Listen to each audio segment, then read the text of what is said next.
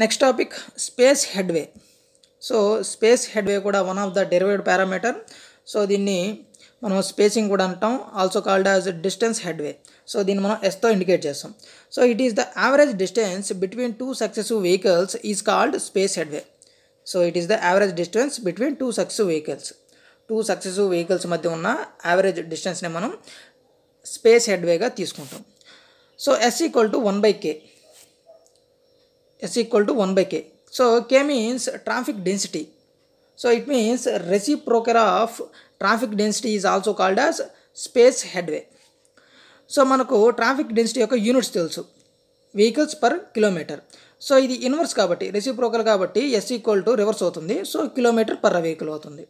So S equal to one by K kilometre per hour దీని యొక్క units అనమాట next అదేవిధంగా S equal to thousand by K so మనం ఇక్కడ కిలోమీటర్లో తీసుకున్నాం. అదేవిధంగా మీటర్లో తీసుకుంటే S equal to metre per వెహికల్లో తీసుకుంటే one kilometre equal to thousand metres one kilometre equal to thousand metres కాబట్టి థౌజండ్ బై కే అవుతుంది.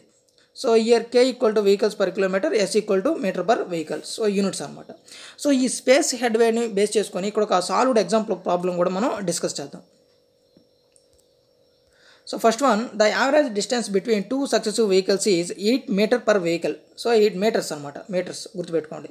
నెక్స్ట్ అదేవిధంగా మనం ఇక్కడ మెజర్ చేయాల్సింది traffic density so traffic density in vehicles per kilometre ఎంత అనమాట how much so S equal to మనకు formula తెలుసు. మీటర్లో చూసుకుంటే థౌజండ్ బై కే తో thousand by K so K మనం మెజర్ చేయాల్సింది డెన్సిటీ అనమాట so traffic density K equal to thousand by S అనమాట సో కే ఇక్కడ పోతుంది? ఎస్ ఇక్కడికి వస్తుంది?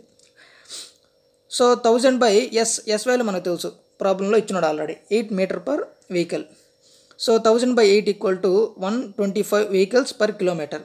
So K value వచ్చి one twenty five vehicles per kilometres so ఈ K means vehicle sorry traffic density అనమాట సో ఈ విధంగా చిన్న చిన్న ఈ ఫార్ములాస్ని బేస్ చేసుకొని మనకు కాంపిటేటివ్ ఎగ్జామ్స్లో అడిగే ఛాన్సెస్ ఉన్నాయన్నమాట సో ఈ విధంగా మనం ఈ ట్రాఫిక్ డెన్సిటీని మెజర్ చేయొచ్చు.